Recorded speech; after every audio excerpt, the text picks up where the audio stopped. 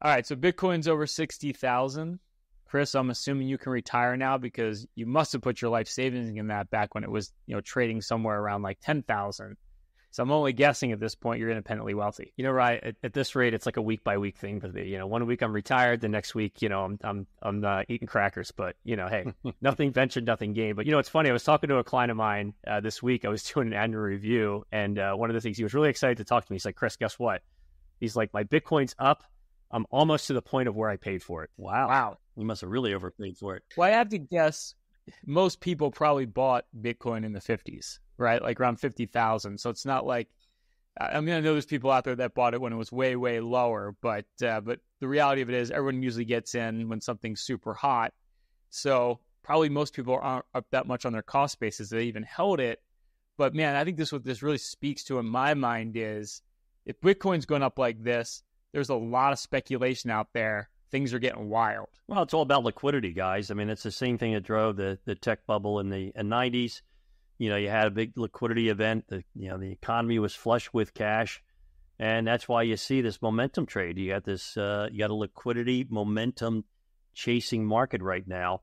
You know, whether it's Bitcoin or you know a semiconductor stock or or Snowflake. Well, that's actually down 20% today, but 395 times earnings. I mean, come on, how can it be a bad deal? Yeah. But you know, we know it can get crazier, right? I mean, if you sure. look at the amount of money sitting in cash right now, money market funds still at six trillion dollars. Uh, we, you know, we've used that stat a lot on this show, but that just makes me think about like, when's that money coming into the market? It's not an if, it's when.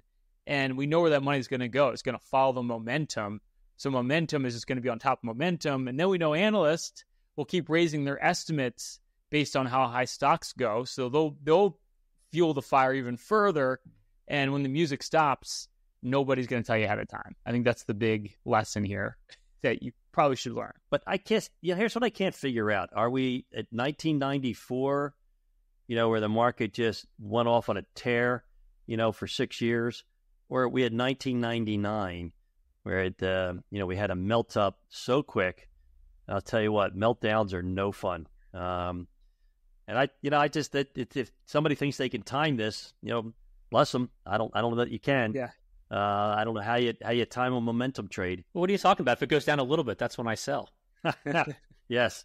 Yeah, yeah. Those close stops and uh, you know those those floor traders aren't going to take you out, right? Yeah, yeah exactly. Well, that's the problem, right? Is the industry is just going to keep fueling the fire, um, and when the tide goes out, everyone's going to be swimming naked.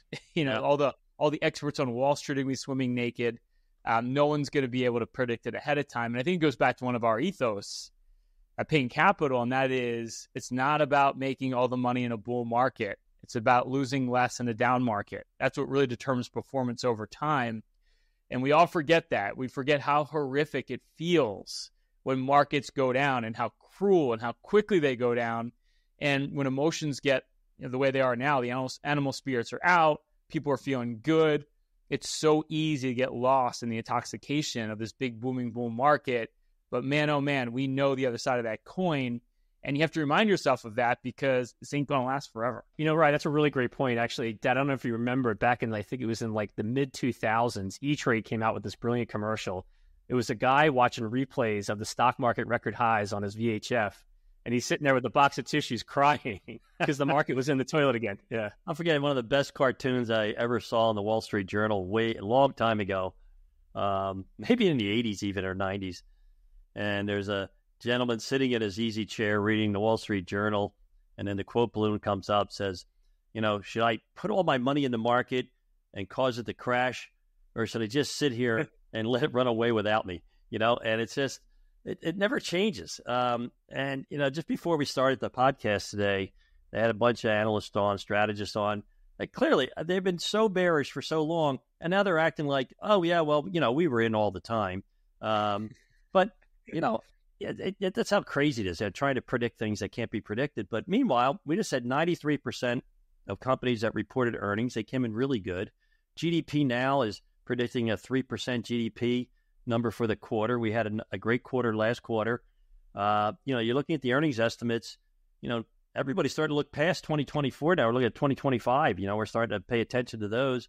And even 2026 looks good. So the outlook's really, really kind of positive, very positive right now. It is, but you got to make the right decision here, right? And the right decision is not going to be instant gratification, unfortunately. And I, I kind of like Bob. The thing about analysts, uh, they they have the uh, shortest term memory mm. of of uh, anyone in the world because it's right. They just like it's like all of a sudden.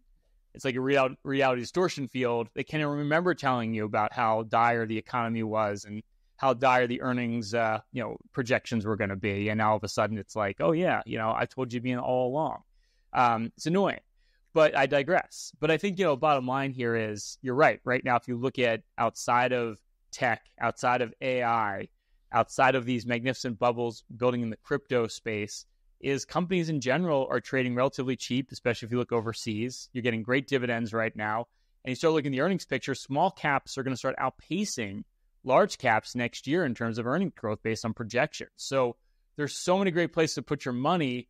It's probably just not going to work right away, but that's where good investing comes in. It's right sitting on something patiently and then bam, at some point it's going to work, but you want to be there beforehand. And right now you have that opportunity. Well, that's what always made it so interesting and fascinating for me, guys. Is I always said that Wall Street is loaded with ordinary people promising to do extraordinary things. Um, and you know, analysts are just everyday, normal, ordinary people. So they follow companies that they like, right? They thought the company was going to go under, it was going to be horrible. You know, they'd move to a different industry group. So they kind of fall in love with their company. And then, you know, the company plays that game. If things are really good, they kind of downplay the upcoming quarter, right? Um, and so, oh, we got surprised to the upside. I mean, how many quarters have we spoke about, guys, of the last two or three years where the surprises were to the upside? So if yeah. they see a recession coming or starting to feel it, you know, they'll they'll hint that you know, towards the analyst. But it, it, it's such an interesting game that all these, you know, these finance guys play, you know, in the C-suite. You know, oh yeah, we're gonna things are gonna be okay. Oh, surprise, we blew out the quarter. Look at the stock go up. Oh, by the way, I get compensated on stock. is isn't that it's interesting how that works? yeah, it is a total game, and the problem is right that that works really well when you're not in a recession, which I don't think we are right now. But the problem is when those you know, when the real recession's about to come and those earnings are start to fall off a cliff, there's no heads up. the analysts, just like they were late to raise their earnings, like no analyst could figure out that Nvidia was going to have these astronomical quarters. You know, they were way behind the eight ball on that. It's going to be the same thing when earnings finally slow down. They're going to be well behind the eight ball again, so it has no value. Um, which I know it's kind of cruel to say that, but it's true. You know, if, if anyone really knew and they had that crystal ball, they could really see into the future they'd be on their yacht. They wouldn't be working as an analyst for a bank. I got to tell you. Hey, Ryan, what's your problem with NVIDIA? It's a number three holding in our large cap growth fund. I love NVIDIA. Hey, I love it too. Um, and more goes up, the better. But the problem is, like Cisco in the late 90s, early 2000s, at some point, that party's going to end. And unfortunately, we're not going to know ahead of time. I'm sorry. Well, we will because it's going to it's going to play out the same way you guys don't remember the 90s. So you had uh, perfectly allocated portfolios. Everybody was set for life. Goals were met. And then it's like, you know, Bob, uh, I don't really like bonds anymore. You know, bonds are kind of boring. You know, there's five, six percent tax free municipal bonds. Let's get rid of those. I want to be all stock. And then it's, you know, that diversified equity portfolio. I don't really like that anymore. I, I like large cap growth.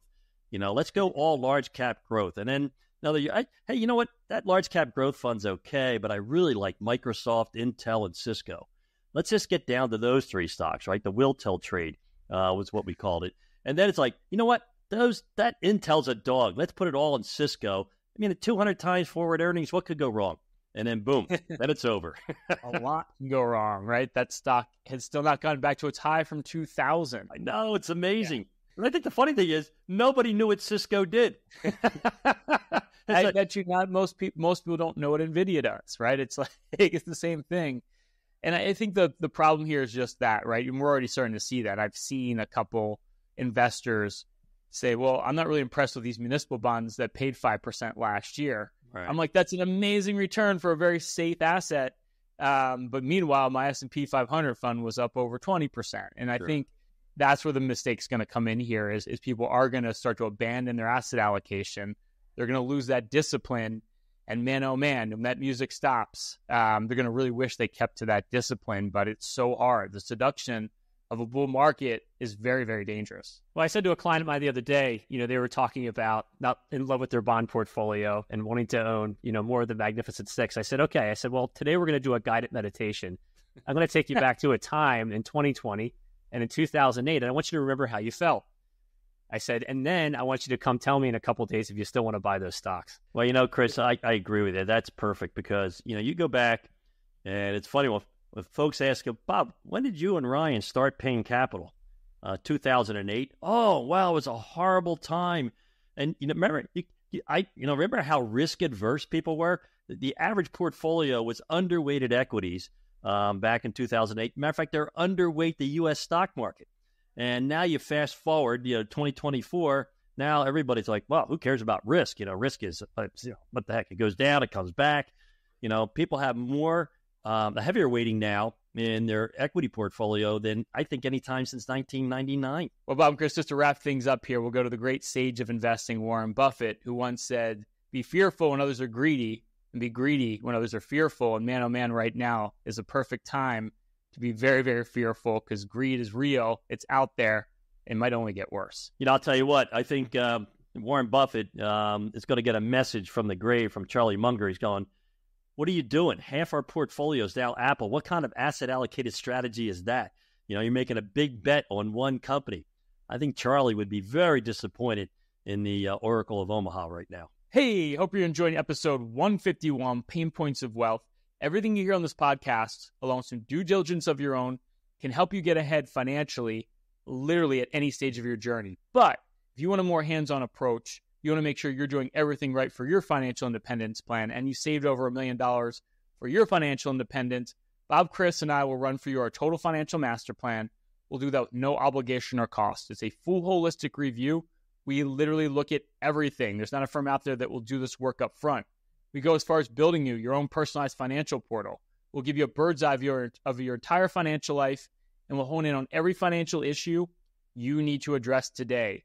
Whether it's an income plan for retirement, the best way to take Social Security, how do you draw from your portfolio without running out of money factoring in inflation? We'll build that dynamic income plan so you don't run out of money. We'll look at diversification. Has your portfolio been wild the last two, three years, all over the place like a yo yo? Or have you been sitting with way too much money in cash? Paralysis by analysis, can't figure out what to do. We'll put together a full investment game plan. We'll show you how to grow your wealth, but most importantly, protect it over the rest of your life. And we'll look at fees and taxes. Wall Street loves to sell you high cost, tax inefficient products, whether it's an annuity, mutual fund, brokerage product, structured product. We'll do a deep dive of every investment you own. We'll show you how to reduce the cost and optimize your portfolio for taxes. It's not what you make, it's what you take. You'll get our full tax playbook. If you saved over a million dollars and you want that full review, simply go to www.paynecm.com slash financial plan to see if you qualify for a free financial review. All right, it's the tipping point. This is where we pinpoint the Payne point. Of course, that's P A Y N E, having the biggest impact on your wealth right now. And Bob and Chris, you know, when it comes to financial planning and investing, and you take our collective 75 years, we know that a lot of you can be your worst enemy when it comes to making financial decisions. So I thought we could just talk about some of the bigger mistakes we make when we get in our own way and we're our worst enemy when it comes to making good, sound decisions when it comes to your money. You know, I'll tell you guys, one of the one of the th- awful truths is that uh, you know the only thing guaranteed in life is death and taxes. And I, I remember doing my own personal wealth projection you know, way back as a rookie broker in my days at Mother Merrill. And, you know, I'm thinking, well, my tax bracket's going to be a lot lower, you know, once I retire. Um, but you never thought about, you know, having millions of dollars in your 401k that you'd have to pay tax on, right? That would push you into a higher marginal bracket. Uh, but, you know, and you just don't know what tax bracket's going to be. My goodness, when I started, you know, we had a 90% marginal tax rate at one time. Yeah. You know, talk about the uh, the federal government confiscating your, your hard earned income. But uh, so you, you always have to deal with what you know as opposed to pretending that you can predict the future when it comes to inflation or taxes, savings, or spending. Well, I think it goes back to our favorite adage, right? Money saved in taxes is just as great as any money you can make in your investments. And I think that's where most of us spend the least amount of time thinking about, right? We know annuities love to be sold, talking about like income for life, guaranteed 10% return, which we know is not real. But when you start taking that money, you're paying it at the highest tax bracket, right? So it's extremely tax inefficient. Yet most of us don't take the time to really look at what actually is in our pocket after the tax man has got a hold of your gains and your income and your dividends. I heard about somebody once say that your individual retirement account is actually a joint account and the joint partner is the US government because you can basically assume they're going to take 40% to half over time. Well, it goes back to what I was saying earlier on the show. Like last year, a muni portfolio returned 5%. If you live in New York or any other states that have huge taxes or you're just in a high marginal bracket, that's like you getting 7% on a equivalent pre-tax basis, right? In an investment that pays income and matures. So it's just so important to understand those tax implications because again, maybe you get a high return on something, but if you're paying a ton in taxes on it, it might be a very low return after the tax man gets their way with you. Yeah, that's absolutely the case, and it's um, and your money compounds much faster when you're paying less to the IRS or the state of New York or New Jersey or or Illinois. So it's it's really critical to make sure you maintain you know a low a low tax profile. Um, one of my buddies from home, Rye, saw you on um, one of the TV shows the other day, and he said, "Oh my goodness, Bob, I'm sitting here thinking I got five percent return on my cash at the local bank." And after listening to Ryan, I'm not making anything after taxes and inflation. So you got a you got a big fat check coming your way for our municipal bond portfolio because it makes so much sense, you know, after listening to what you keep as opposed to what coupon is or what the interest rate is. And it's simple math, right? If you're getting 5%, but inflation's 3%, you're down to 2%, and you still have to pay taxes on that. you're down to closer maybe a 1% return. When you factor in taxes and inflation, that money market fund of 5% doesn't sound so great anymore. And yes, on a treasury money market fund, you do pay federal tax, by the way. It's a lot of money. Well, you know, I tell you what, I don't know if you guys know this or not, but we have a presidential election coming up in November and and I am telling you, I am just dreading it because, you know, four years ago, every single client was trying to game the election. Well, if this side gets in, the market will do X. The other side gets in, the market will do Y. Let's put money in cash and time this. Um, you can't predict the outcome of an election, nor can you predict what the outcome is going to be on the outcome that you predict. So it's just it's it's amazing how much volatility we're going to experience between now and election day. And I guarantee you one thing: the day after the election, all the noise will turn off, and you'll start hearing about something else. Well, it certainly happened last time, and I had a bunch of clients uh, call me prior to the election to say, if so and so gets in, I want to get out. And uh, you know what? You know what happened the very next day after the election? Market went straight up last time. Yeah, whether you love Joe Biden or don't love Joe Biden, the market did go straight up after he was elected. And I think it was just the certainty that you knew you had a president that was more important than if his policies were good or bad. I mean, you've said this before. I think there's another Warren Buffett quote. We'll use the Oracle of Omaha today is it's it's about a beauty contest, right? It's not about what you think is beauty. It's about what the actual judge thinks beauty is. So you have no idea how markets going to react to any sort of data ahead of time. So it's not worth trying to figure that out. More important, figure out what your goals are. It's not about a cataclysmic event affecting your portfolio or an on and on proposition. It doesn't work that way. Well, I think as an investor, you should always be happy. You should be happy when the market's going down because then you can invest when the market's low and you should be happy when the market's up because you're making money. Either way, the outcome's always going to be better. I think that really comes down, and I'm a basic guy, right? So I look at things from a very we know Bob, yes, uh, you know, just very fundamental thinker.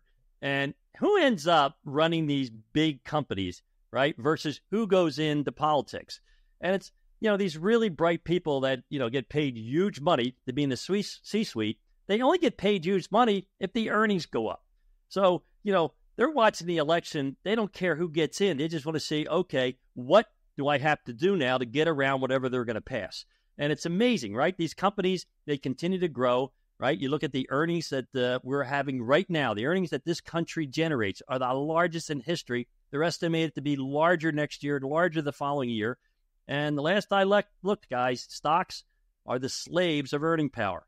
And so, you know, they're watching the election just to see what they have to do to keep growing the company so your stocks will go up. Well, you know, Ryan, as the uh, president of our firm, I'm really kind of curious to see who you're going to vote for. Never count me out and never bet against American business, I think is, is probably a good adage there.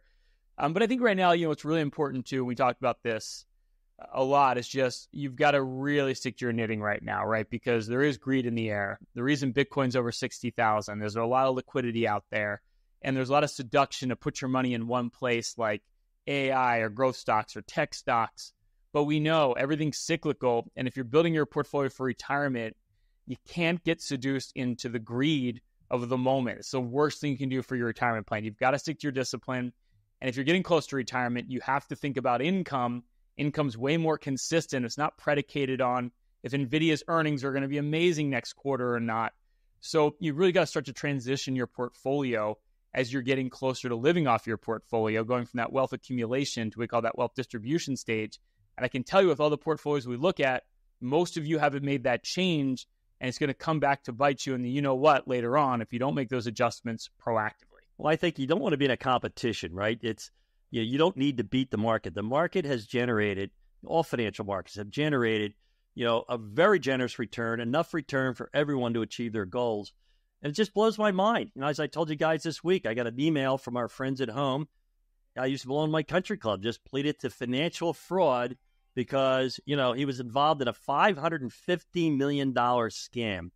And, you know, why do people give money to these people? They promise them 10 to 14% returns. And you hear 10% yeah. in a 4% market, you got, you know, you just, you're greedy, you know, so it's just, it's just a shame that people fall for these things. It makes it harder for everybody but you don't have to reach for return. Just that's always the one thing you got to remember. Accept the returns. The thing you have to ask yourself is number one, what return do I need to keep my lifestyle intact? Right? Am I taking too much risk to get that return or not enough risk to get that return? That's all that matters. If you're getting a return that you need, it's more important than what your friend at the cocktail party is getting on their portfolio. you got to customize it for yourself. You almost have to look at it in a vacuum, but it's all about what your needs are, what your goals are, managing the risk, getting the right return so you can live comfortably, period.